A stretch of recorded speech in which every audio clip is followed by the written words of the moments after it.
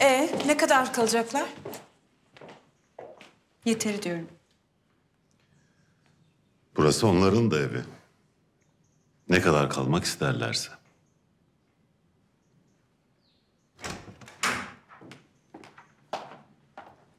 Namık Bey, Yeter Hanımlar geldi efendim. Tamamdır sağ ol.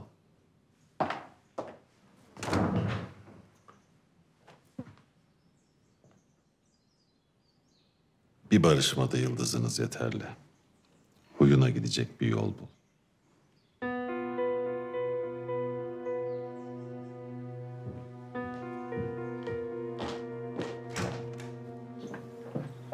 Hoş geldiniz, hoş geldiniz. Hoş bulduk. Aa, evde de mi iş? Bu kadar yorma kendini Namık abicim. Yok ya ne işi? İdil'i görünce O akşam için geldi. Hoş geldiniz.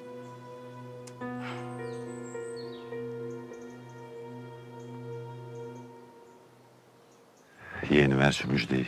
İçim şişti. Doktora getirdik. Küçük bir pürüz çıktı. Ama hallettik. Şimdi ameliyatta biraz sürermiş. Ya konuşamadan geberirse it. O zaman başka bir yol seçeceğiz. Bizimkileri buraya getirdim. Bana ayak bağı olmasınlar. İyi et, iyi et. Sevkiyat ne olacak? O iş Cüneyt'te.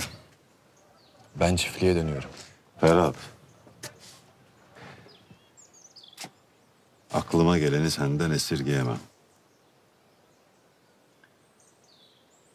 Bu yiğit diyorum.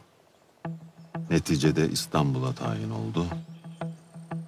Bilgisayar çalındı. Belki de peşimizde. O çaldırdı, olamaz mı?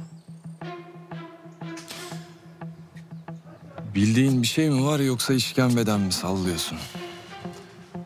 Olabilir diyorum sadece. Bize garezi var. Olsaydı şimdiye kadar yapardı. İntikam soğuk yenir evlat. Bizim paramızla okudu. Savcı çıktı. Sonra bize sırtını döndü. Zaten senin gibi bir abisi olmasa o yiğit ne savcı olurdu ne de adam. Sana da helal olsun. Her daim bana rağmen korudun kardeşini. Benim kardeşimse...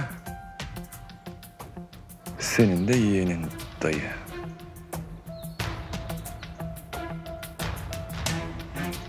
Hayatta aileden gerisi yalan diyen sen değil miydin? Oyalama beni işim var.